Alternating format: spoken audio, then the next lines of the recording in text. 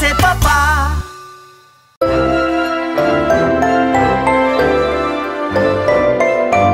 Bir zamanlar küçük bir kız varmış. Bu kız hep kırmızı başlıklı bir pelerin giyermiş. Bu nedenle de herkes ona kırmızı başlıklı kız diyormuş.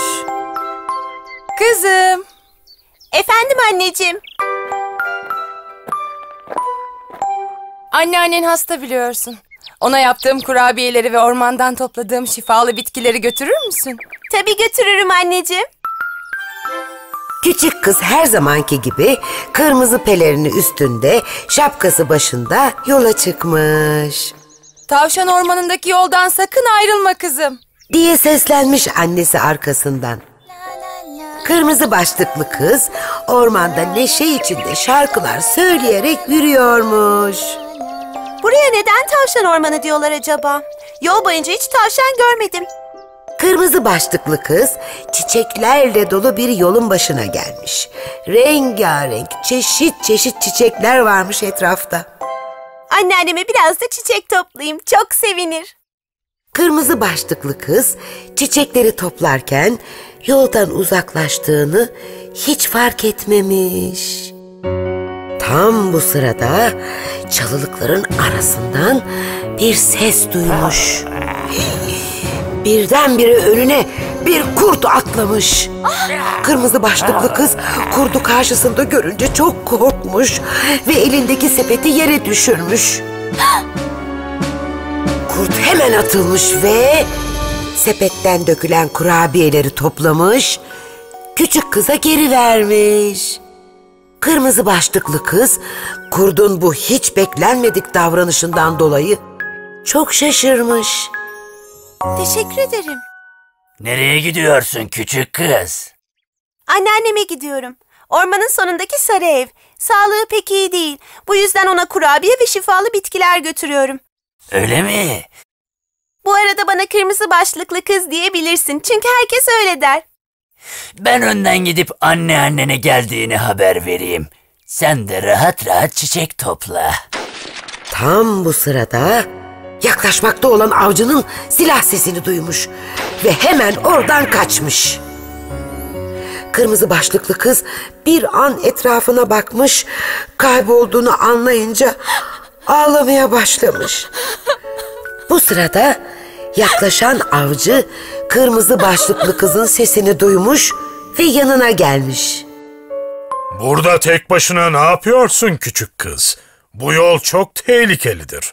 Ben de uzun zamandır buralarda dolanan bir kurdun peşindeyim. Kırmızı başlıklı kız annesinin sözünü dinlemeyip tavşan ormanındaki yoldan ayrıldığı için çok utanmış ve avcıya kurtla karşılaştığını söyleyememiş. Ee, şey...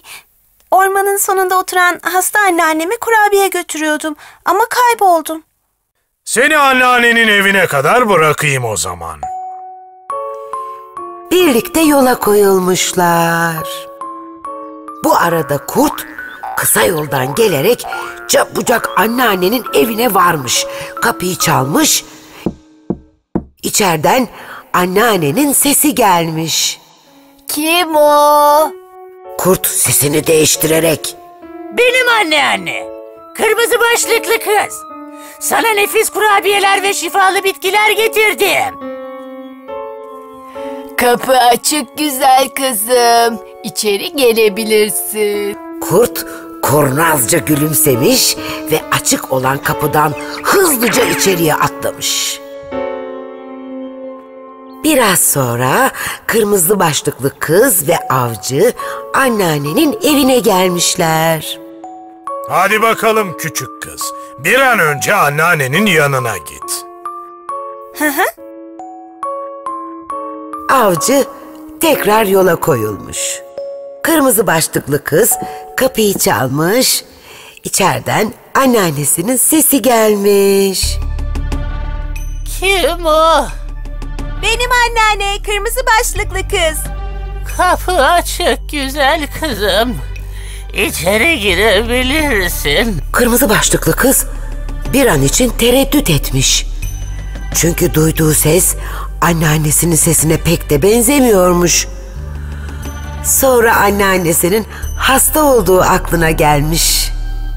Anneannem hasta olduğu için sesi böyle çıkıyor galiba. Kırmızı başlıklı kız kapıyı açmış ve içeri girmiş.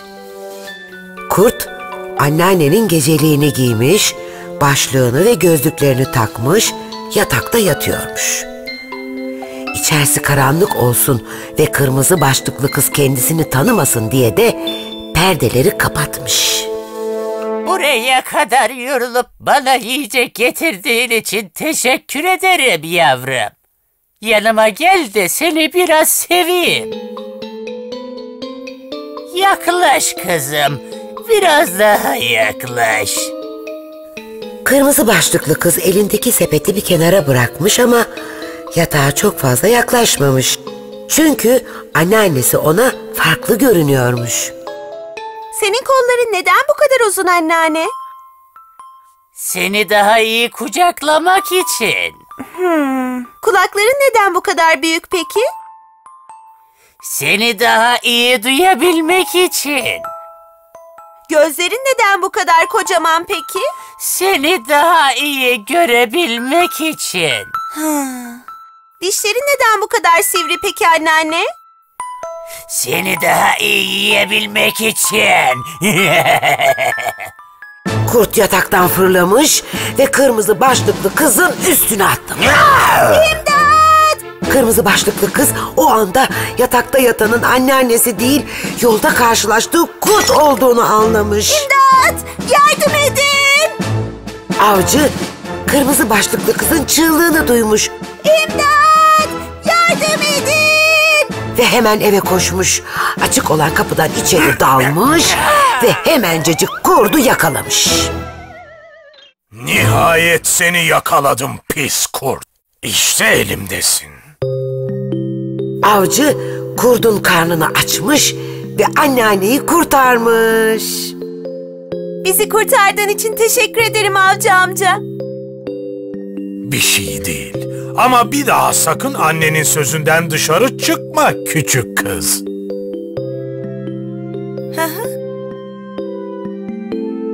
Anneanne kırmızı başlıklı kızın getirdiği kurabiyeleri yemiş. Şifalı bitkileri kaynatıp suyunu içmiş ve hemen iyileşmiş. Kırmızı başlıklı kız anneannesine bir daha hiçbir kurdun sözüne kanmayacağına dair söz vermiş. Kırmızı başlıklı kız ormanda neşe içinde şarkılar söyleyerek yürüyormuş. Yolda tekrar kurda rastlamış. Avcının ormanı temizleme cezası verdiği kurt, kırmızı başlıklı kızı görünce yaptığından çok utanmış. Tavşan ormanı yine eskisi gibi tavşanlarla dolu cıvıl cıvıl neşeli bir orman olmuş.